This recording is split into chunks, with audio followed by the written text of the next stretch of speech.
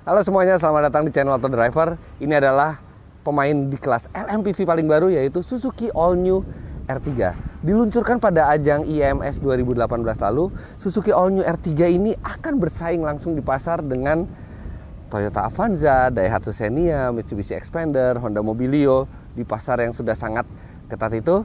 Dan berita gembiranya mobil ini melakukan ubahan yang total untuk melihat ubahan apa saja di eksterior, di interior, kemudian uh, fitur-fitur barunya secara lebih detail, Anda bisa lihat video first impression kami yang linknya ada di atas layar ini Anda bisa klik. Sedangkan kali ini kami sudah bisa meminjam dalam waktu yang lebih lama untuk melakukan test drive sehingga kami bisa menginformasikan kepada Anda bagaimana rasa berkendaranya, performanya, kehematannya, kelebihan dan kelemahannya secara lebih komprehensif.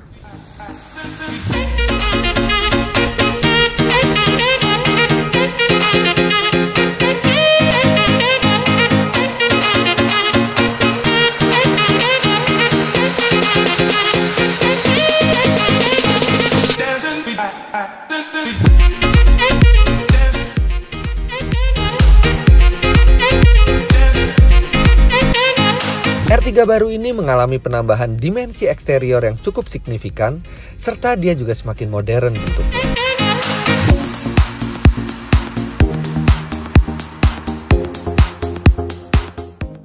Sebenarnya ini subjektif, tapi saya harus jujur ke Anda mengenai apa yang saya rasakan. Saya merasa peleknya ini kurang oke okay lah untuk R3 karena dia belum dual tone, dia hanya single tone dan desainnya itu tidak terkesan mahal atau elegan. Dan yang dibalik kap ini juga ada mesin yang lebih besar dibandingkan sebelumnya. Kalau sebelumnya 1400 cc, sekarang ini unit 1500 cc membuatnya uh, semakin setara dengan rival-rivalnya. 4 silinder injeksi dengan tenaga 104,7 HP dan torsi 138 Nm yang artinya dia setara dengan Toyota Avanza 1500 cc, kemudian uh, Mitsubishi Expander walaupun memang tenaga ini masih cukup jauh di bawah Honda Mobilio yang merupakan uh, pemimpin di kelasnya dalam hal tenaga. Mesin ini menyalurkan tenaganya ke dua roda depan melalui transmisi otomatis 4 speed. Dan di sini kita lihat ada peredam yang cukup tebal. Kelihatan usaha dari Suzuki untuk membuat mobil ini uh, halus untuk dikendarai karena memang kehalusan berkendara dan keasikan berkendara itu adalah salah satu ciri khas yang ada di R3 sebelumnya. Sekarang langsung saja kita ke balik kemudi untuk ah, melihat apa yang ada di dalam dan bagaimana rasanya mobil ini saat dikendarai.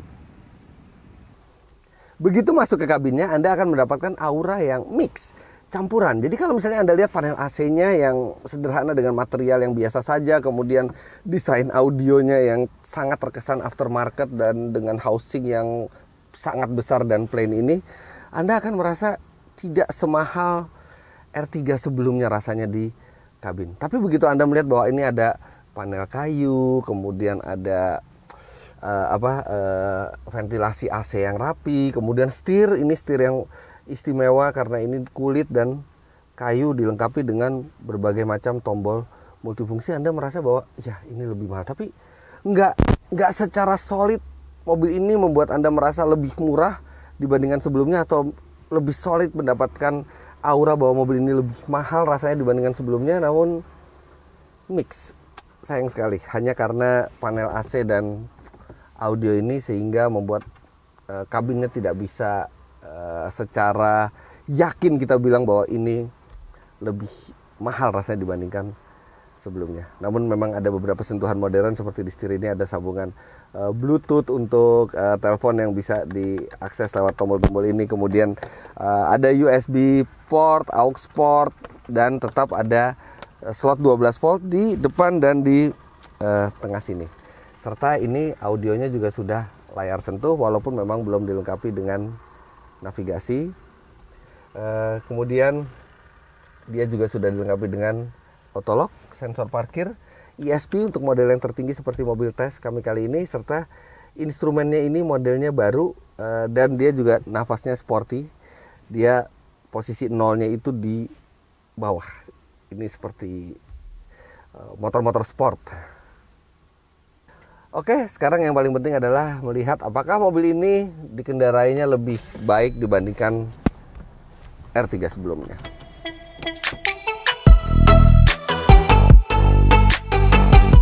Di jalan yang langsung terasa adalah kehalusannya yang sangat baik.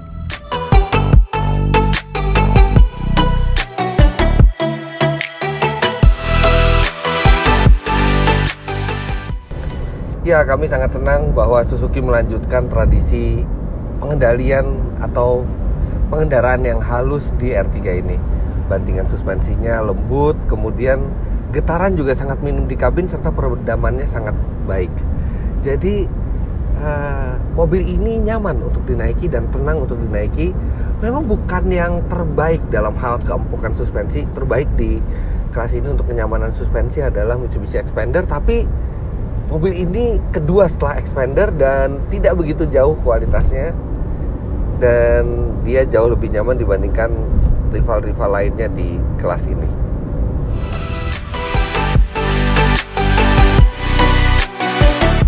Penambahan kapasitas mesin menjadi 1500 cc membuat R3 baru ini terasa lebih bertenaga dibandingkan sebelumnya.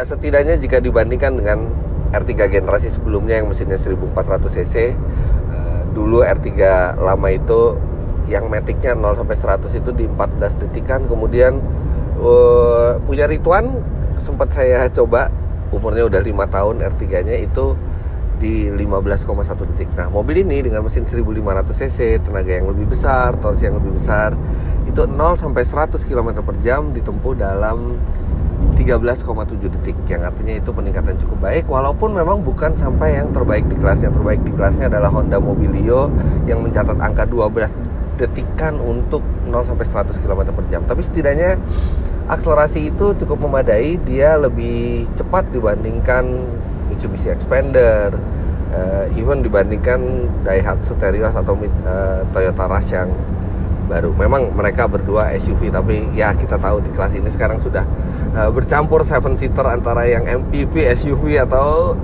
di antara MPV dan SUV gitu kita uh, segmen pasarnya sama ternyata. Tapi yang jelas secara performa mobil ini cukup lah, tidak berlebih tapi cukup. Sekarang bagaimana dengan konsumsi bahan bakarnya? E, ternyata dia tidak jauh lebih boros dibanding sebelumnya karena karena teknologi mesinnya juga lebih baru. Hasil kami di dalam kota dengan kecepatan rata-rata 22 km per jam, mobil ini masih sanggup mencatat di atas 12 km per liter, tepatnya itu 12,3 km per liter. Sedangkan untuk di rute tol dengan kecepatan rata-rata 90 km per jam, R3 baru ini bisa mencatat angka 18,2 km per liter. Itu adalah angka yang cukup baik. Namun ada satu, Berdasarkan pengalaman kami, MID di R3 generasi sebelumnya itu adalah salah satu yang melencengnya paling jauh dan itu terjadi juga di beberapa line up Suzuki lainnya seperti di uh, Swift juga kami mengalami uh, melenceng yang cukup jauh tapi kita harus tes artinya yang di tipe baru ini seberapa jauh melenceng MID-nya Bagaimana cara kami mengetes? Kami bandingkan MID dengan metode full to full dan di situ dilihat uh, berapa penyimpangannya. Ternyata dari hasil yang kami dapatkan, penyimpangan yang terjadi di MID baru ini dibandingkan aktual full to full itu hanya 4%.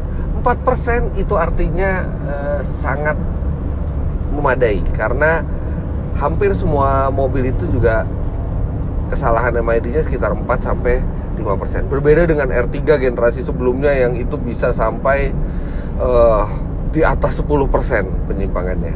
Jadi angka yang tadi saya sebut untuk kehematan bahan bakar bisa mendekati kenyataannya. Satu fitur yang sangat menyenangkan adalah ventilated cup holder.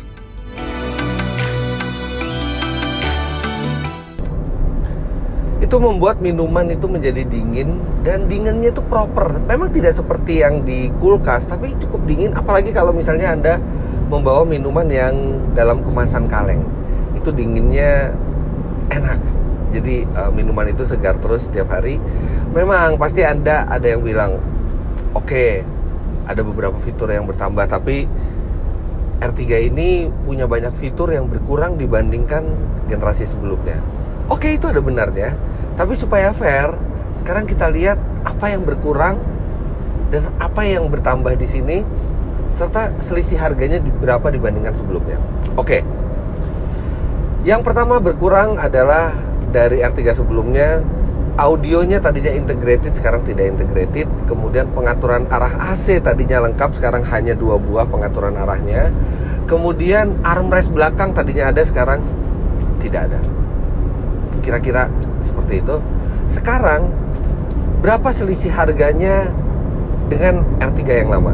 Kayak kita sama-sama ambil tipe GX yang bukan ESP ya karena yang di tipe eh, di generasi sebelumnya juga tanpa ISP itu beda harganya hanya sekitar 2 juta rupiah. Lebih tinggi yang baru. Sekarang kita lihat dengan kenaikan harga 2 juta rupiah apa saja yang didapatkan di R3 baru ini? Yang pertama jelas mesinnya lebih besar. Kemudian bodinya lebih besar. Kemudian ada beberapa uh, fitur-fitur pernak-pernik yang bertambah seperti proyektor headlamp yang tadinya tidak ada sekarang sudah ada kemudian setir yang sekarang uh, bentuknya lebih mewah dengan uh, material yang lebih baik.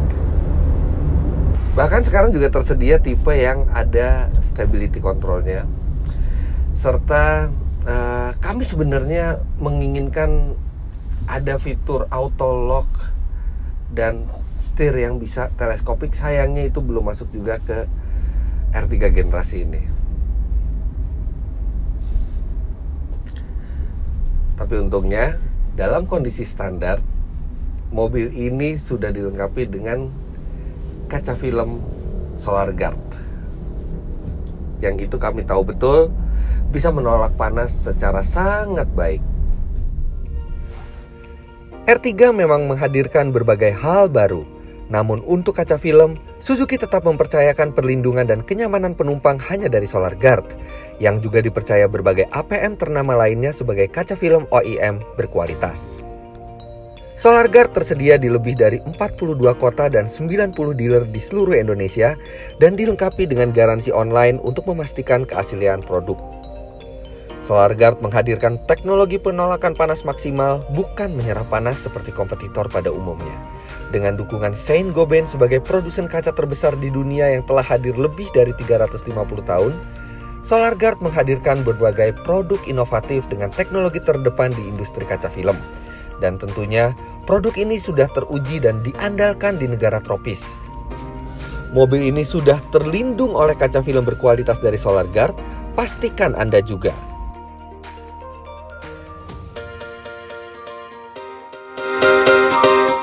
Solar Guard made in USA.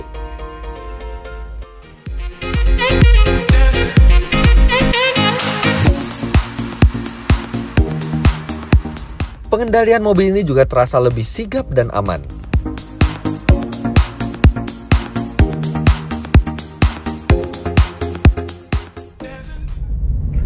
Ya, mobil ini jadi lebih uh, mantap di tikungan dan kita tidak takut slip karena adanya stability control serta walaupun bodinya mau besar tapi dia masih cukup lincah dalam bermanuver. Bahkan eh, saya bersama Om Mobi bersama Ridwan kemarin sempat mengadakan lomba slalom di kon yang sangat sempit karena radius putarnya juga kecil. Jadi walaupun dia empuk dia juga pengendaliannya masih sangat memadai dan salah satu ciri khas dari R3 itu kan adalah dia fun to drive. Asyik untuk dikendarai dan di generasi yang terbaru ini Suzuki masih melanjutkan hal tersebut. Mobil ini di atas rata-rata fun to drive-nya untuk ukuran kelas LMPV.